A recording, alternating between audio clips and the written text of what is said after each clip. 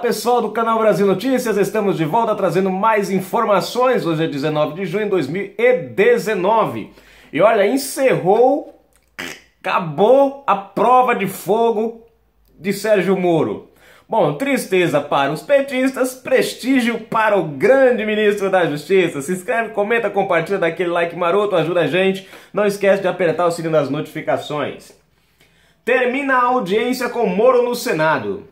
Terminou às 17 horas e 50 a audiência do ministro da Justiça Sérgio Moro na Comissão de Constituição e Justiça do Senado, iniciada pouco depois das 9 horas desta quarta-feira, 19.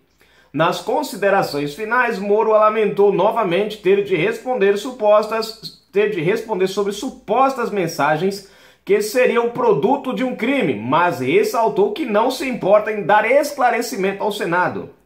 A presidente da CCJ, Simone Tebet, reconheceu que o ministro não pediu para limitar as perguntas dos senadores, mesmo quando ela ofereceu a opção por causa do tempo, por causa do tempo da audiência, e encerrou a sessão informando o ministro que a semana que vem o Senado deve votar um dos projetos do pacote anticrime elaborado por Moro, o que criminaliza o Caixa 2. Tá aqui, gente.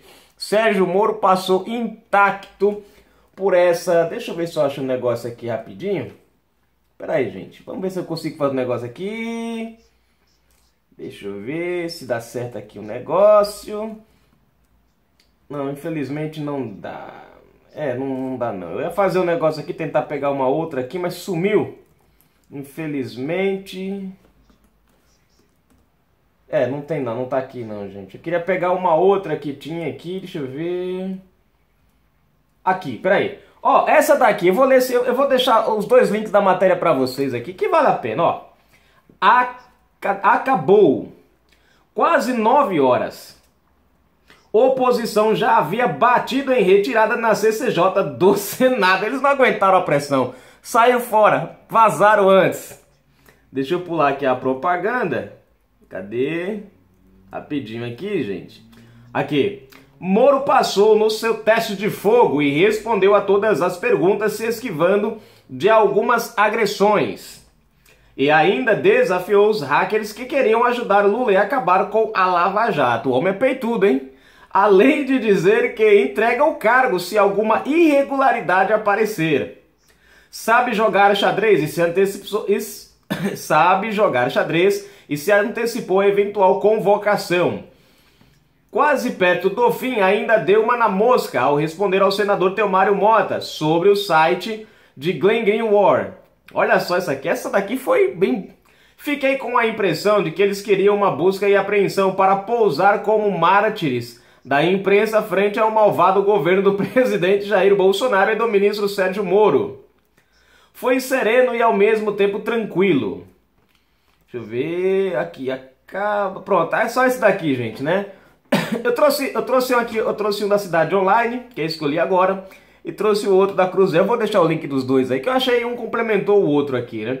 Sérgio Moro hoje passou por uma literal prova de fogo. E como a gente viu no começo da matéria, a galerinha pegou o beco antes que terminasse. Gente, para vocês verem como é que são as coisas, né? Com o, essa do ministro Moro, acho que todas, a, a do Guedes foi ótima, a, do, a, a entrada lá da educação foi ótimo também. Cara, os dois foram. Agora, essa do Moro aqui, os caras ficaram acuados. Teve alguém aí que comentou, deixou nos comentários aí, naquele vídeo que eu trouxe do Renan Calheiros lá, né?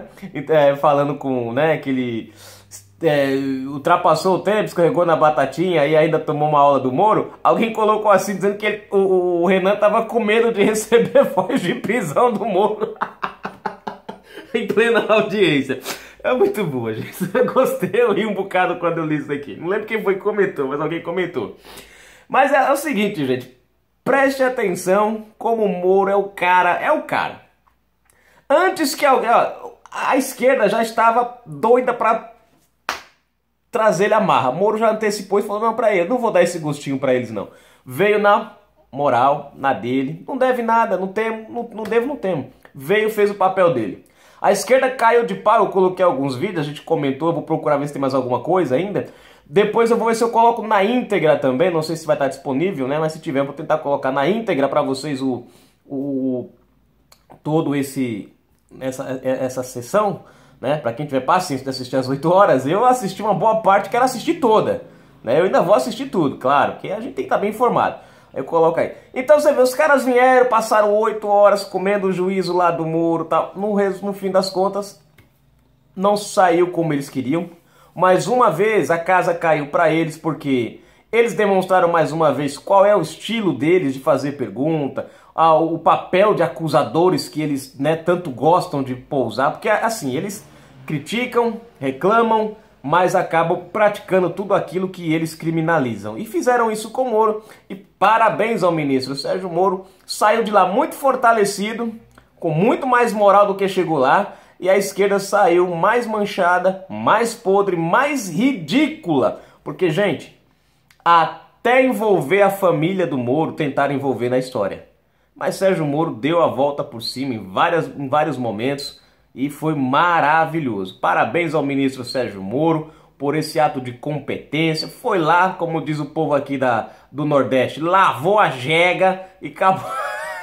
acabou Quer dizer, lá, poxa, a gente aprende isso aqui, eu dou risada. Ah, o nosso Nordeste é muito rico no, no, no, linguajar, é muito bacana, né? Lavou a jega lá, lavou a burra e deixou o pessoal dos petistas lá tudo com a cara no chão. Só, enfim, tá lá. É Canal Brasil Notícia, Dali Sérgio Moro. Agora eu espero que a próxima vez que ele for lá seja para ser sabatinado para a cadeira do STF. E aí, vocês acham o quê? Ministro Moro no STF? Coloca aí, hashtag Moro STF. Canal Brasil Notícias.